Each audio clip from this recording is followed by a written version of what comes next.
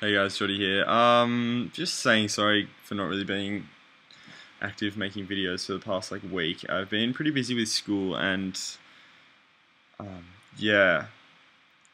So yeah, sorry about that. Anyway, um, about to upload an app review of two apps, two of my favorite apps, so Draw Free and Haytel. Check them out.